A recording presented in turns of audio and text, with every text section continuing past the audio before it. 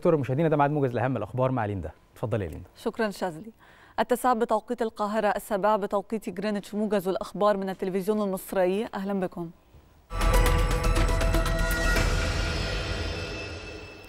وجه الرئيس عبد الفتاح السيسي بالتوسع في المراكز المعتمدة لتشخيص الأورام في مصر وفق المعايير الدولية بالأخذ في الاعتبار التوزيع السكاني على مستوى الجمهورية. جاء ذلك خلال اجتماع الرئيس السيسي بمستشار رئيس الجمهورية لشؤون الصحة الوقائية وأستاذ علاج الأورام بكلية طب القصر العيني. وصرح المتحدث الرسمي باسم رئاسة الجمهورية بأن الاجتماع شهد متابعة المبادرة الرئاسية الخاصة بدعم صحة المرأة على مستوى الجمهورية. وخلال الاجتماع وجه الرئيس السيسي بدعم إنشاء مركز التميز الخاص بصحة المرأة وتشخيص وعلاج الأورام في مستشفى دار السلام هيرمل وتوفير المصادر المالية لاستكمال منشآته وتجهيزه بالكامل من قبل صندوق تحيا مصر وليمثل المركز منارة طبية على مستوى الدولة. أكد المنسق العام للحوار الوطني ضياء رشوان أن المستثنى من المشاركة في الحوار الوطني كل من خطط وحرض ونفذ أعمالا إرهابية وتلوثت يداه بالدماء وعلى رأسهم جماعة الإخوان الإرهابية. والفئة الثانية المستثناة كل من يرفض دستور مصر 2014 موضحا أن عمل مجلس أمناء الحوار الوطني يقتصر على إدارة الحوار الوطني وليس التدخل في الموضوعات المطروحة به. وخلال كلمته بالمؤتمر الصحفي المنعقد بمقر الأكاديمية الوطنية للتدريب والتأهيل لمجلس أمناء الحوار الوطني. أشار رشوان إلى أن الحوار أسفر عن إصدار اللائحة المنظمة لعمل مجلس الأمناء تمهيدا لنشرها على الموقع الخاص بالحوار الوطني كما تم إصدار وثيقة خاصة بمدونة سلوك وأخلاقيات الحوار الوطني. أعلنت الأمم المتحدة أن ممثلي الحكومة اليمنية وقوات الحوثي في لجنة التنسيق العسكرية المجتمعون بالعاصمة الأردنية عمان اتفقوا على الالتزام بتثبيت الهدنة بمناسبة عيد الأضحى.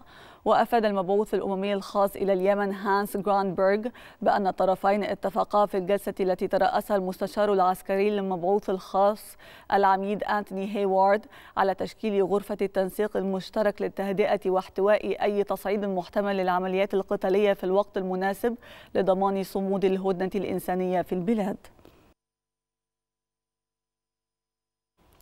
قال الحاكم الإقليمي لمنطقة لوهانسك الأوكرانية سيرجي جايداي إن القوات الروسية تخوض قتالا عنيفا وتزحف صوب منطقة دونيتسك بعد سيطرتها على آخر بلدتين في لوهانسك المجاورة.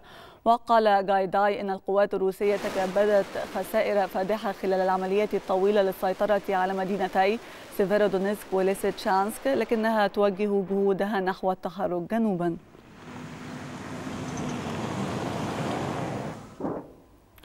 أظهر استطلاع حديث لرأي أن أعدادا متزايدة من الأمريكيين تعرضوا لضغوط اقتصادية بسبب زيادة معدلات التضخم وارتفاع أسعار الوقود على وجه الخصوص. وأشار الاستطلاع الذي أجرته جامعة مونماث الأمريكية إلى أن غالبية المشاركين في الاستطلاع ذكروا أن ما تتخذه الحكومة الفيدرالية من إجراءات أضرت بهم وأن سياسات الإدارة الأمريكية لا تعود بالنفع على الطبقة الوسطى في المجتمع. وأوضح الاستطلاع أن 42% أو أربعة من كل عشرة أشخاص من المشاركين قالوا أنهم يكافحون من أجل مواصلة تحمل الأعباء المالية. أمر الرئيس الأمريكي جو بايدن بتنكيس الإعلام على البيت الأبيض وسائر المباني الحكومية والمواقع العسكرية والقواعد البحرية في أنحاء البلاد حدادا على أرواح ضحايا حادث إطلاق النار بمدينة شيكاغو حتى غروب يوم السبت الموافق التاسع من يوليو الجاري.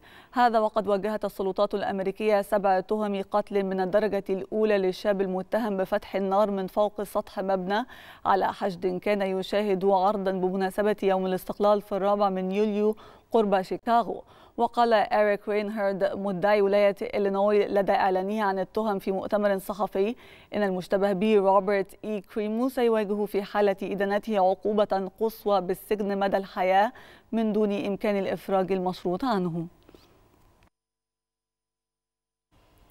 تلقت رئيسة وزراء فرنسا إليزابيث بورن اليوم خطابا حول سياسة العمل لحكومتها الجديدة. يأتي ذلك بعد إعلان تشكيل الحكومة الفرنسية الجديدة المؤلفة من 17 وزيرا وستة وزراء منتدبين وأربعة في منصب سكرتير دولة تضم 41 عضوا بينهم 20 امرأة. وقالت وسائل إعلام فرنسية إن بورن لن تسعى للحصول على ثقة البرلمانيين خلال بيان سياستها العامة أمام الجمعية الوطنية ومجلس الشيوخ.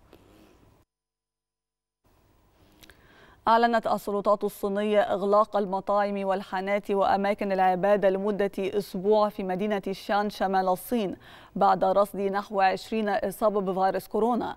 وقال المسؤول في المدينة جانغ سو دونغ إنه تم تطبيق تدابير رقابية لمدة سبعة أيام بهدف تجنب تدفق الأشخاص وبالتالي الإصابة بالعدوى.